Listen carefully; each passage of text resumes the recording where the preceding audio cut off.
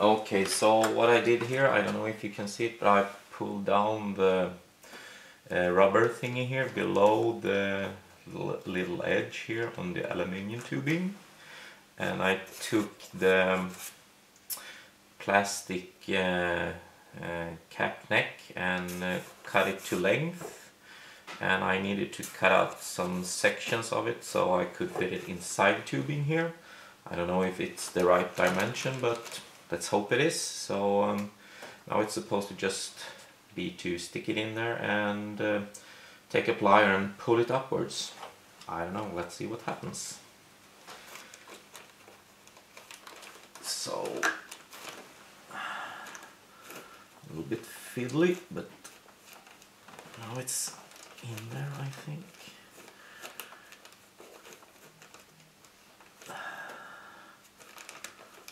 Okay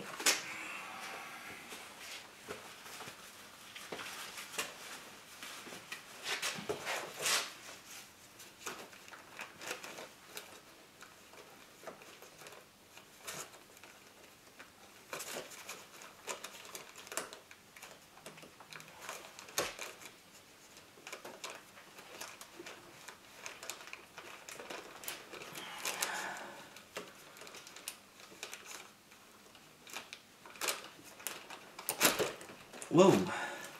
So that was easier than I expected actually. So there seems to be some kind of springs inside here and you when you push up with the plastic tube here they releases and it just let go.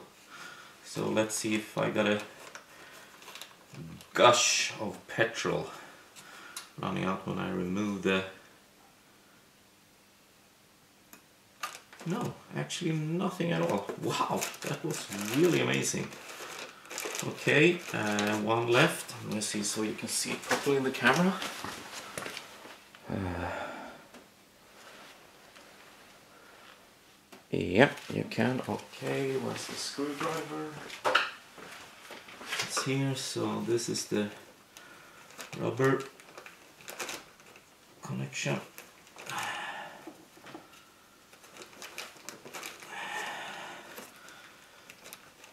some mild force to be needed. Come on.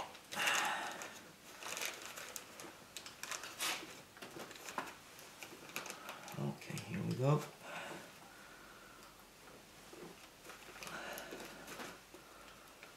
Don't want to break it. I think it's uh, there's a little bit of a in general it's doing fine I think. Okay there it let go. Okay. And the plastic ring. Insert it and push it upwards. And use plier